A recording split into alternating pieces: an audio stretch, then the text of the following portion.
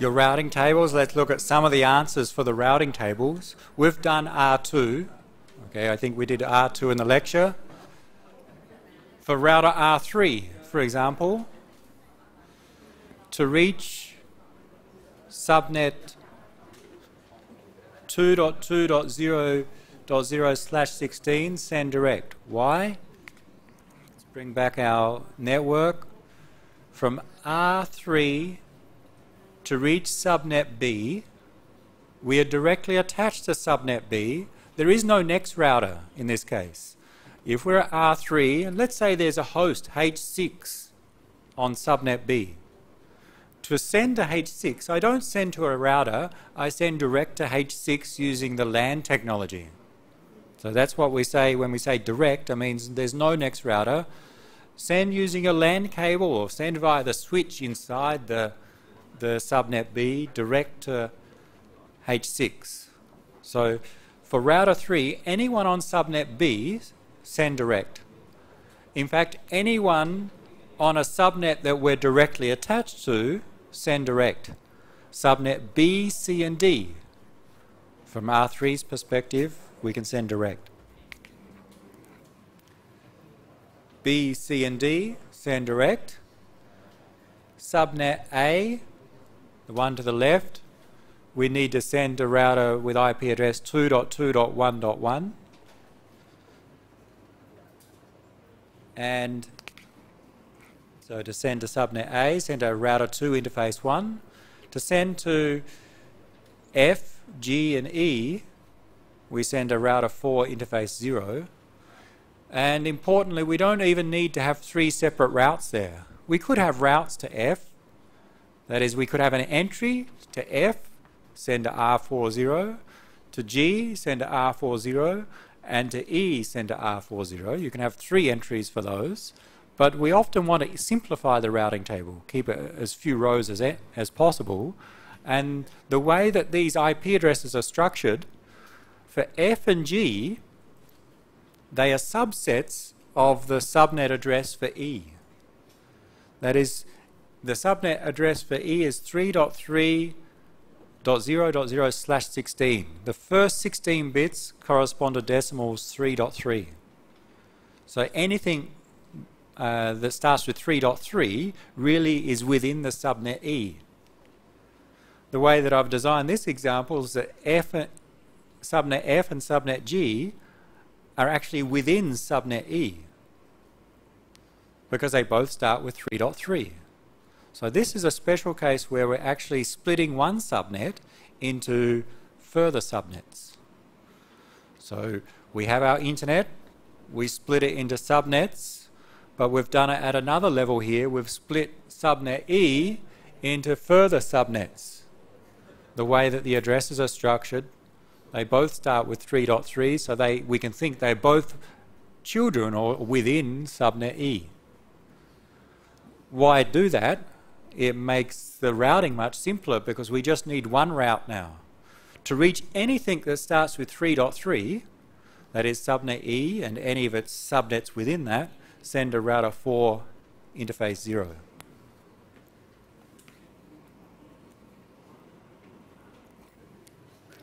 Three dot three dot zero dot zero slash sixteen send a two two one three. Just one entry is needed there. Anyone else that don't that doesn't match the other rows, send a two two one five. That's the way to interpret the star value here. Any other value, send to router one. Now the star value, actually the real way to interpret it is it's 0 dot 0 dot 0, how many? Four zeros slash 0. We'll come back to that when we see our packet uh, structure and see how it's forwarded, forwarded through our routers. Router 4 and 5,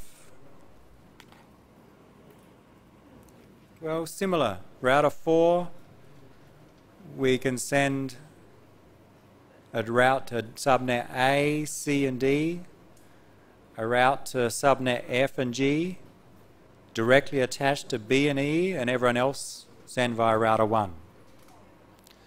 And subnet 5 directly attached to E and F. Everyone else R4 interface 1.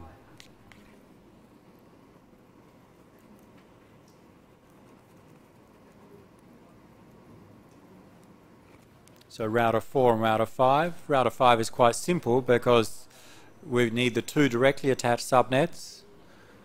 We need to get to, uh, is it subnet G, and everyone else sends via the, the router on subnet E. Any questions on the routes for the routers? Hosts also need routes. They need routing tables but often they are very simple because usually a host is only attached to one subnet. For host 1, to reach anyone on subnet A, send direct. To anyone on subnet C, send a router 2 interface 0. Subnet B, router 2 interface 0. E, F, G, D, router 2 interface 0. Anyone on the internet of the millions of subnets, still router 2 interface 0. So in fact, for a host, normally we have two entries, one for our local directly attached subnet and one for a default route to the rest of the world. Because there's only one possible router we can send to.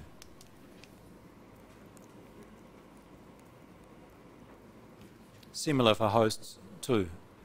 So hosts normally have simple routing tables.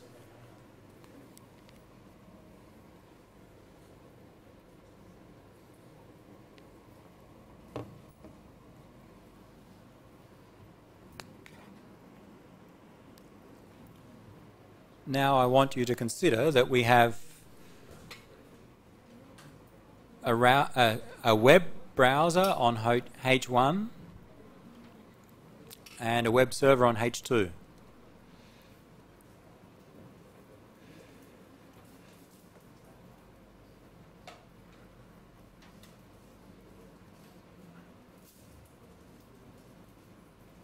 And H2 is running a web server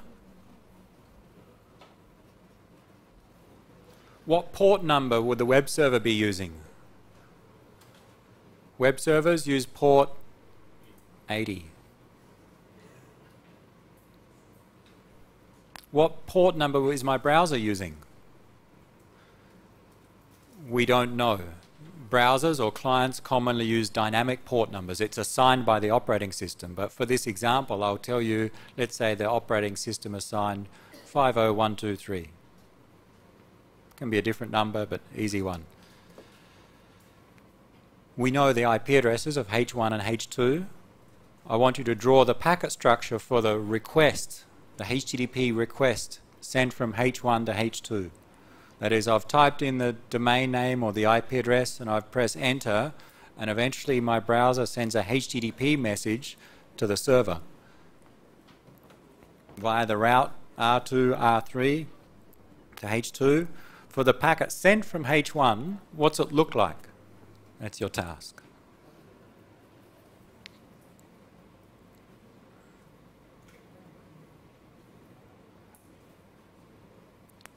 The HTTP request sent by H1, well, the hint, there's four, uh, four protocols in use here. We can think that the application generates a message using the protocol HTTP.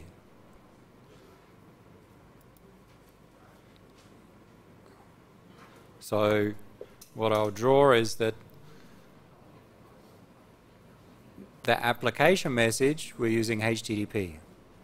It includes some data. But that HTTP message is not sent directly, it's sent using a transport protocol. Which one? And that transport protocol sent using a network layer protocol. Which one?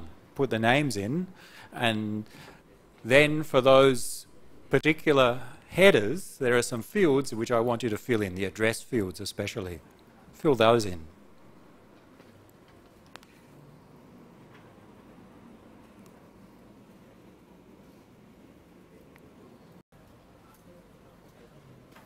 We know that the HTTP message. HTTP, we've seen it in some previous examples, uses TCP as a transport protocol. HTTP, uh, HTTP requires reliability. TCP is the transport protocol that provides reliability, retransmissions. So, the HTTP message is put inside a TCP segment. So you can think that the TCP packet is all of this. The header is here, the payload is the HTTP message. But before we send that, we actually use another protocol to send the TCP packet. We use the Internet Protocol, IP. So we attach an IP header. This is the IP header. This is the IP payload, the data we put inside the IP datagram. We put one inside another. And in our example, we're using on all of our LANs, the data link layer is Ethernet. I'll just write ETH for Ethernet. This is the entire Ethernet frame. Inside the Ethernet frame, we have an Ethernet header, and inside that, we have an IP datagram. The, the payload of the Ethernet frame is the IP datagram. The payload of the IP datagram is the TCP packet. The payload of the TCP packet is HTTP message. We put one inside the other. So each of the headers have some fields. We're not going to go through all the fields, but just the addressing fields. The TCP header contains a source port and a destination port. This is sent by my web browser to the web server. Web server, easy, destination port 80. Web browser, we gave it to you. I, it may be different. I chose my web browser to use 50123, but in a different case, it may be a different value. It's a dynamic port from about 49,000 up to 65,000. So we'll set it to 50,123.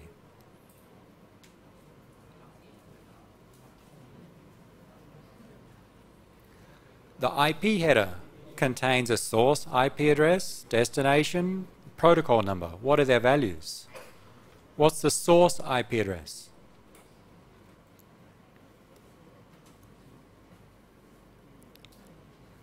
This this is sent by H1, destination H2. The IP addresses identify the original source and the final destination. That is H1 to H2. Your IP addresses may be different, but I chose H1 to be 1.1.1.27 and 4.4.1.156 for H2.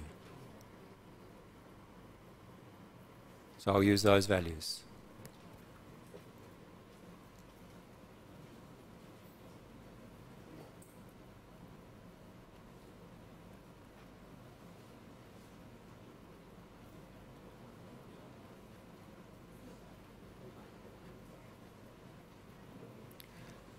The protocol number tells IP what's inside the payload.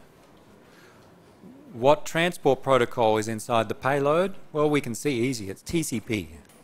But we don't specify TCP, we use a, a number to indicate TCP. The number is, everyone yell it out at once. What's the number for TCP? Magic number. It's on the previous, some of the slides. TCP is allocated the number 6. Each transport protocol has a unique number. TCP is 6. UDP is 17. ICMP is 1. And there are many others. So the value of the field here would be 6, meaning it's TCP. What's inside IP? TCP the Ethernet frame sent by H1.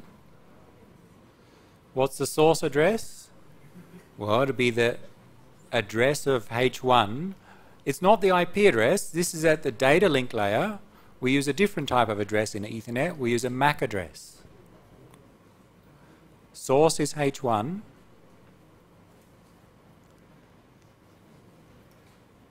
The Ethernet or MAC or sometimes hardware address of H1 is this F4, F5, F6 address. You can write the full one, I won't fit it in.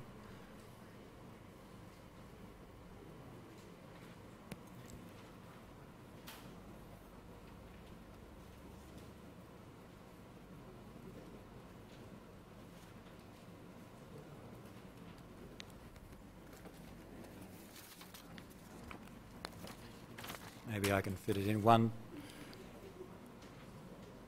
six, five, four, three, two, one.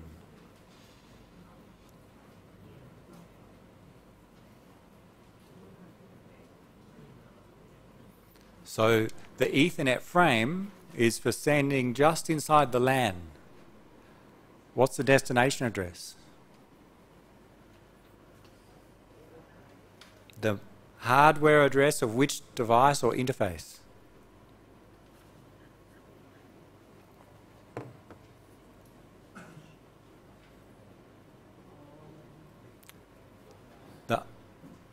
Source is the hardware address of H1, the LAN is only subnet A. So we're sending to R2 interface 0. So the hardware address is not that of H2. We, from Ethernet's perspective, we're only using it for internal communications on this subnet. We know nothing about the LAN technology used by H2. To communicate across multiple subnets, we're using IP for that. For Ethernet, it's only internal in the subnet. So we're sending from H1 to R2 interface 0. We know because of our routing table. Our routing table tells H1 to reach 4.4.1.156, you need to send to R2 interface 0. So the hardware address of our frame will be that of R2 interface 0.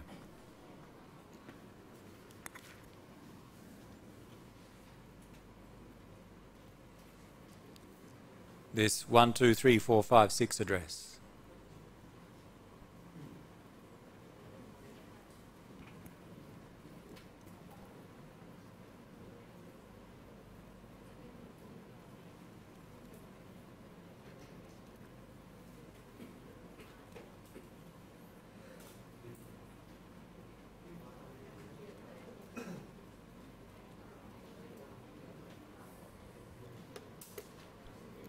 So be careful there that the Ethernet frame is just for the, the source in the subnet to the destination in that same subnet. It's not the final destination, it's the next one in the path. The type field in the Ethernet header is similar meaning to the protocol field in the IP header. The protocol field in the IP header tells us what's inside, TCP's inside. The type field tells us what's inside the Ethernet frame, IP is inside. And IP has its own number as well. And it's not, I think, on any of the slides, it's number 8. Meaning IP is inside this Ethernet frame.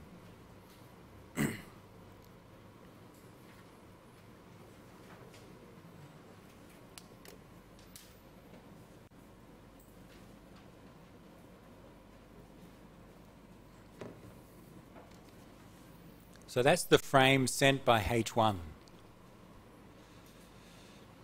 Where does it go to? Well, from the routing table, it will go to R2 interface 0. When it arrives at R2, let's look at the routing table for R2. Note the destination IP address, 441156 it gets to R2. R2 gets it. I'm not the destination. This is R2.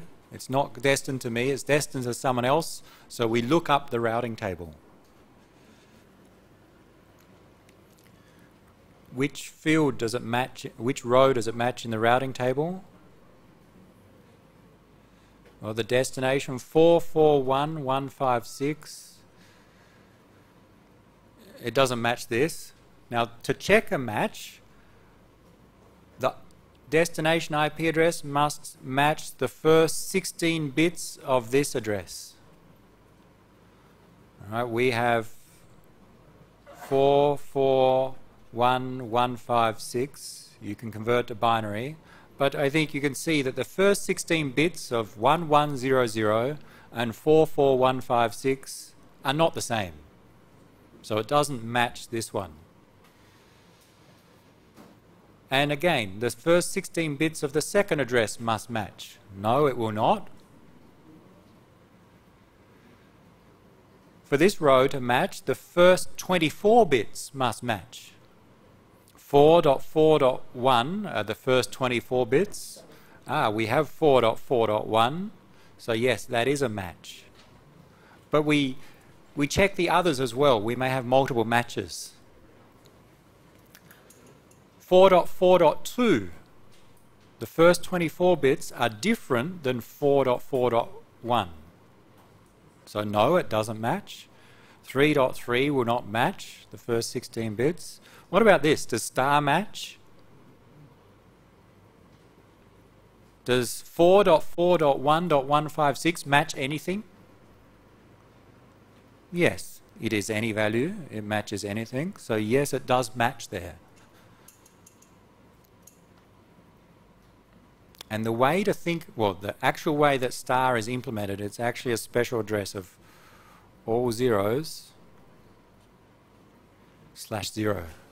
And it's a bit confusing because what it means, the all zeros, zero values must match. So that's what me anything means. Nothing matches mean anything will match. So zero values must match. Well, yes, there are zero or more values that match, therefore it will always match this address. So 4.4.1.156 does match all zeros, or at least zero of the bits match. So yes, does, it matches this row. So in this case, we have two rows that match. Which one do we use? We use the one with the most bits that match on the left. 441 256 4410 there are at least 24 bits from the left that match.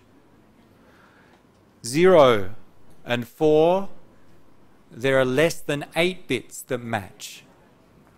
Therefore the one with the longest prefix that matches is that first row that we found. In other words this one has 24 bits that match this one has zero bits that match. Use this one. So our next router is 2.2.1.2. Now that's the details of how it works, but often it's very easy to see. All right, 441156, yes, it's this one. Well, we only use the default route if none of the others match. That's what it ends up happening. If we get a match, use that. If the routing table is designed correctly, if we don't, use the default route. We send to 2212.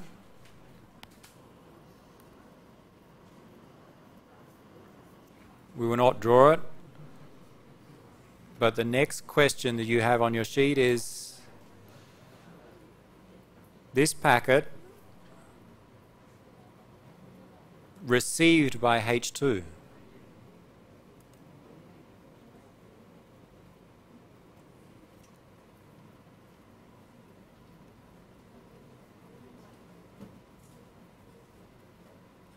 The same packet, it goes via the routers and eventually gets to H2. Went from H1 to R2, R2 send to R3, and then R3 sends to H2 for that packet that arrives at H2, what does it look like? Well, it looks exactly the same. It's the same packet. What has changed? We're still using the same source and destination port. That doesn't change. IP addresses don't change. We're still using TCP. That doesn't change. The thing that does change is the Ethernet source and destination address. So the second packet that you're supposed to draw is exactly the same, except the source address will be that of the router, the destination address with the MAC or hardware address of H2. So the only thing that changes are these hardware addresses along the way.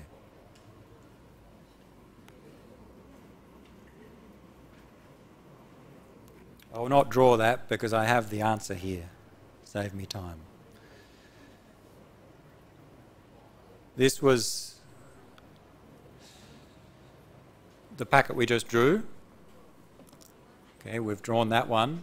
This is sent by H1. If we looked at the same packet but received at H2, looks exactly the same, except the source and destination hardware addresses. That's the only thing that's different there. This would be the source address of the router, R3, is it? The router R3. And the destination would be that of H2.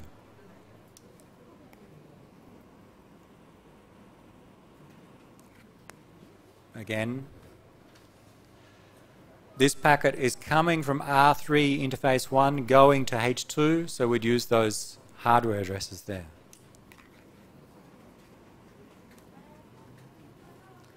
And we'd get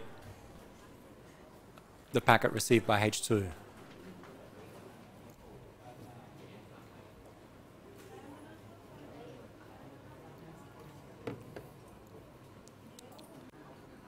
Everyone got answers for those two? Okay. The last two packets are some special cases just to show that not everything's so easy. And I'll show you the answers. We'll not go through, we'll just explain to finish today. First.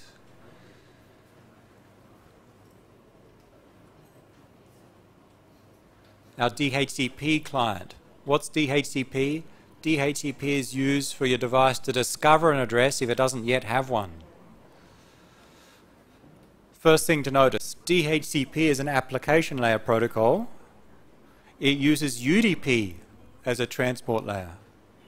Right, just to show a different case. And the port numbers used is also a special case.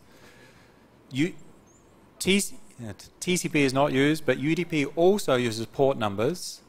And for DHCP, the server port number is fixed at 67. Unlike web browsing where the client port number changes, it's fixed with DHCP, 68. So I had to look those up to find those exact values. You don't need to remember them. But note that sometimes they are fixed for both client and server. The protocol number for UDP is 17. When we're sending a packet with DHCP, we don't know our IP address. We want to discover one. So we set the source to this special address of all zeros. I don't have an IP address, I want to send a packet, so the source must be set to something. I set it to all zeros. Who can I send it to if I know nothing about the computers? There's only one place I can send it. Send it to everyone. I don't know the router, I don't know other servers, the hosts, because I've just booted my computer. So I send it to the local broadcast address, this 255 address, with the idea someone will get it and respond telling me my IP address. That's the idea here. Source address in the Ethernet is my MAC address. And here's a special one which we, I didn't intend to cover, but it comes up. To send to everyone on the Ethernet LAN, there's a special hardware address, all Fs or all binary ones. That's not one to remember. We will not cover that in the exam. We'll see it next semester in the lab. Just another case, different transport protocol, the case of the special IP addresses being used. And the last one, ping, because I know everyone used ping a lot in the assignment and you want to know how it works. Ping is another special case. It uses the what we call the transport protocol ICMP. There is no application layer protocol. It's again special in this case. There are no port numbers with ping. So unlike TCP and UDP, it doesn't have port numbers. I want to ping everyone on subnet F. I am the source, H1. The destination is the directed broadcast address for subnet F, 3331.255. And the protocol number for ICMP is 1.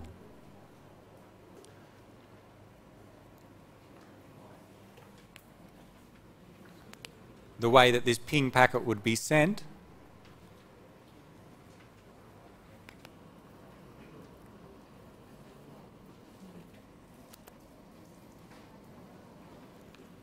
the ping packet will be sent from H1. I wanted to send to everyone on subnet F. I would send one copy to R2. R2 would use its routing table to send to R4. R4 would use its routing table to send to R5. Then R5 would recognize that the destination is the directed broadcast address and send to everyone. It depends on how many are there.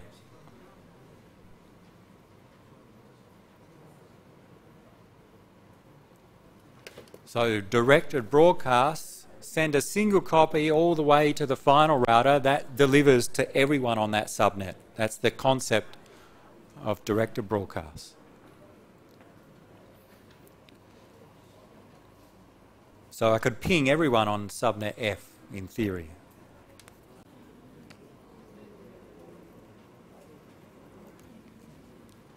So the source MAC would be mine, uh, sorry, the second router.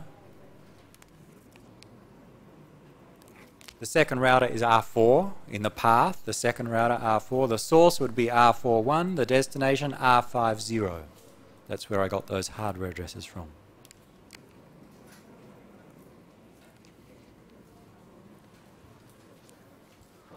Those last two are just some special cases to illustrate different addresses. And I think that's sufficient for today. We're out of time and we've got to the end of our lecture.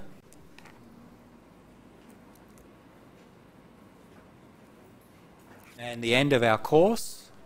So well done for surviving to the end. Hopefully you survive all through through the, through the exam and we will hopefully see you next semester. We'll do some of this in a lab and maybe you'll study some more details in another lecture course on computer network architectures.